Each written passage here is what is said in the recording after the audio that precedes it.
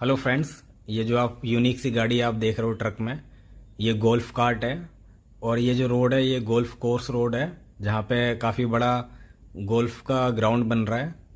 ये देखिए आप गाड़ी और ये वही रोड पे मैं जा रहा था तो ये दिख गई तो आप लोगों को दिखा दी मैंने।